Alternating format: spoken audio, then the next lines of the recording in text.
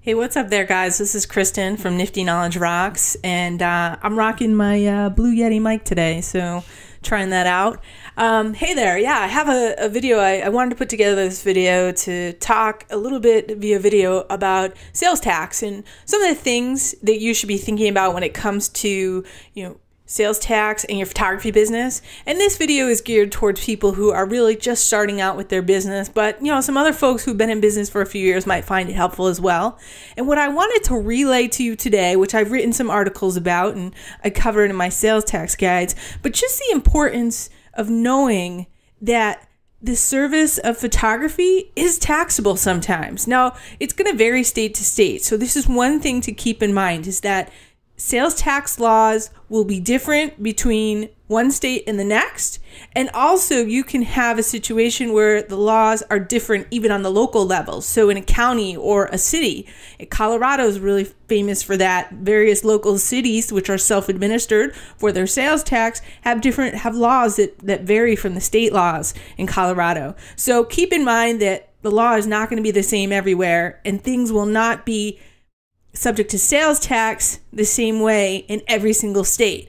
But this video is to get on your radar and to discuss the issue that services, photography services, can be taxable. And people say, whoa, what's that? Services aren't taxable most of the time. And okay, that's not true. There are services that are taxable in various states. Um, South Dakota is a big state that that that taxes a lot of services. But here's what you have to think about. Uh, an event in wedding photography, especially, why is the client hiring you? They're hiring you because they want photographs. They want something tangible. At the end of the day, after you've taken, you know, eight hours of, of photos for their wedding, they want an album. They want something tangible. So the way a lot of states look at this when it comes down to their individual state law is they say, hey, the photography photography services are so closely connected to that final tangible product, the wedding album, that those underlying services are subject to sales tax. So, what does that mean? So, you'll find a lot of photographers that, let's say, they charge uh, $2,500 to go shoot a wedding for eight hours, and then they charge the client $500 for a flash drive or a disk of the images from the day. And what they'll think is, hey, well, only $500 is subject to sales tax because that's a disc. That's that's the hard tangible thing that my clients are getting in the end. So that's subject to sales tax. But the services, the $2500, that's not subject to sales tax. No way.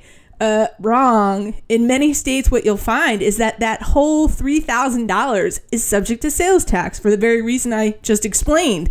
Those services are so closely connected to that final product that the state says, "Hey, this whole $3,000 is subject to sales tax. So just want to put that out there. Something to think about if you're just starting your photography business and really an area that, you know, photographers sometimes overlook. So I don't want you guys to get screwed when you're, you know, in business one, two, three years down the road and the state comes to you and audits you and says, oh, you haven't collected sales tax on like, you know, hundred thousand dollars worth worth of your photography services and you're like what? Because when that happens you can try to go back to your client and say hey i forgot to collect sales tax from you.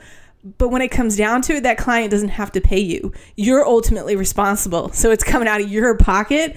And not only is the amount of sales tax liability that you haven't paid coming out of your pocket but it's also going to be penalty interest any other fees. So it could be a lot of money all right I hope this is helpful. This is Kristen with niftyknowledgerocks.com.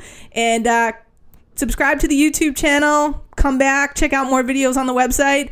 Hopefully, this is helping you out. Take care.